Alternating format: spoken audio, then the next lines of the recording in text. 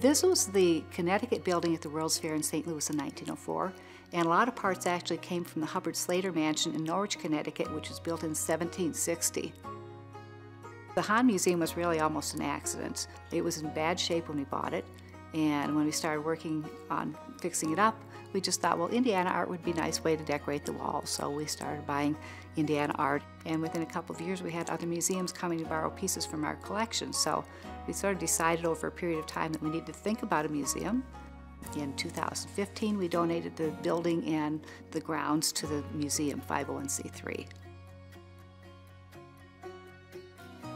We're having more and more programming and trying to educate people in more ways, either through lunch and learn projects or through make and take. So we have days with each exhibit where they can come in and work with different artists and, and make something and take it home. So that, that keeps things kind of fun.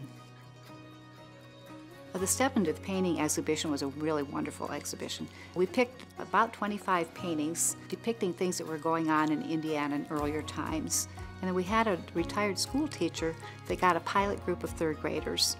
And she either made or bought costumes for each of the kids and took them to the farm at Prophetstown and took pictures of them reenacting what was in the paintings.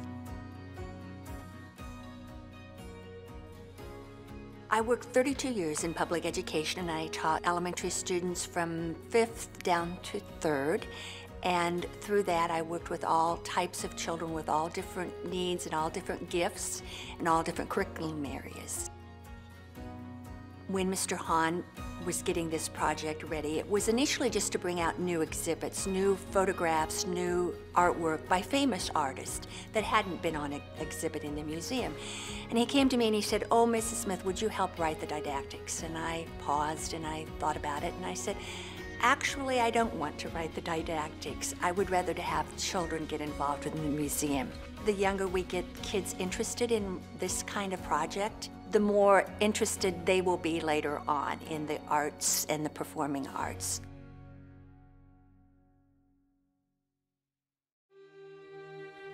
I selected the initial third graders by finding a class that would volunteer.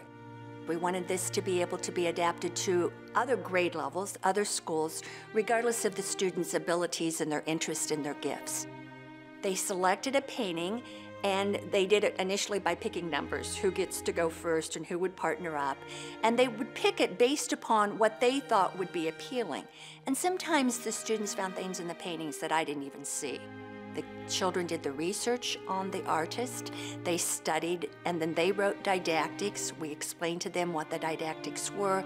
We utilized standards for both third and fourth grade across several subject areas, both for language arts, visual and performing arts, even mathematics standards are written in. The nice thing about Indiana standards, they are vertically articulated, so even though the plans are written at third and fourth grade, they can be adapted clear up to eighth grade. Oh, and teachers are gifted. They'll be able to utilize it from a lot of different aspects, and they'll be able to add their own touches. Teachers have reached out to collect the lesson plan to see how it can be adapted to theirs. Those lesson plans are available by contacting Haan Museum. The foam pictures will be loaned out to any classroom that wants them. These are famous artists by Steele and Williams and Weaver. As an educator, I've been humbled by this opportunity because when one retires, you don't know if you'll be able to impact students the same when the exhibit went up and the kids were able to tour it and saw the final work, it was amazing. It's what you want to do, you want to continue to contribute.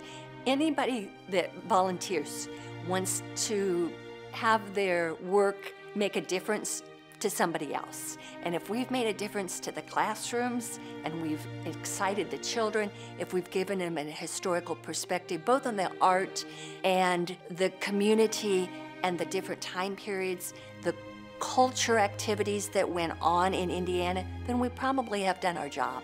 Our goal was not just to look at the painting, but to step into it and to feel like they have become a part of the community and the time of which they studied.